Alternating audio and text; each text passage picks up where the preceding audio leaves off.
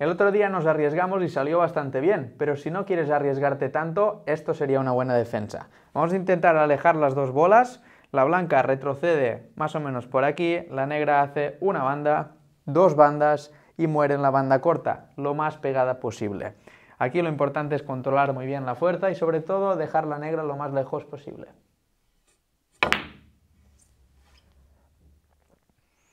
Bastante bueno el tiro, negra pegada, blanca lejos y un buen dilema para el rival. ¿Qué habrías hecho tú?